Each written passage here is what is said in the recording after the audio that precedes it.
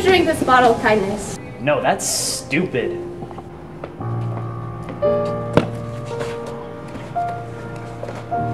You should really try this kindness in bottle. Well.